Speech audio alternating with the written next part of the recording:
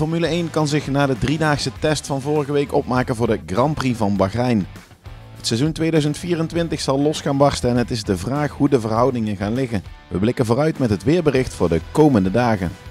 De eerste twee vrije trainingen staan gepland voor donderdag en het belooft een onstuimige dag te worden. De vrij krachtige windkracht 5 zal zeker invloed hebben op het rijgedrag van de Formule 1 auto's.